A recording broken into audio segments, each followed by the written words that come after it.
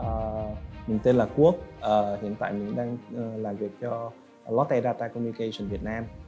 Uh, LDCC hiện tại đang tập trung vào mảng phần mềm nhưng mà theo hướng sản phẩm cho các đối tượng khách hàng uh, có nhu cầu về chuyển đổi số theo uh, phương pháp truyền thống của các công ty phần mềm thì chỉ có BA và uh, developer là làm việc chính thôi còn về mảng design thiết kế thì đa phần là không được chú trọng cho lắm. Thì cho đến khi mà mình làm việc với Lollipop uh, một công ty chuyên về thiết kế và đó là một cái mảng mà bên mình đang rất cần vào thời điểm đấy để có thể uh, tiếp cận đến uh, user uh, một cách uh, hiệu quả nhất.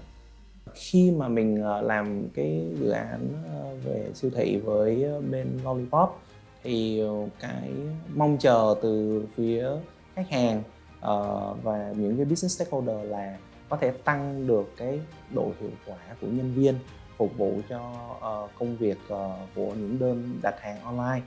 Thực sự là dự án này không phải là một cái sự một cái dự án mà dễ làm phải nói là rất là khó nhằn ở nguyên cái thị trường Việt Nam luôn.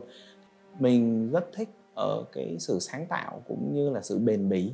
của uh, các bạn uh, ờ, xuyên xuyên suốt dự án. Thì uh, cái sự bền bỉ đó nó đã mang lại được cái uh, uh, kết quả mà vượt ngoài mong đợi của khách hàng cũng như là công ty bên mình. Về mặt số lượng đơn là đã phục vụ trên uh, 50%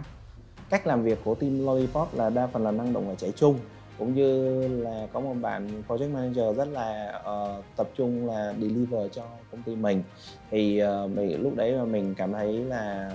uh, công ty đã rất là hết lòng với cái dự án này. Uh,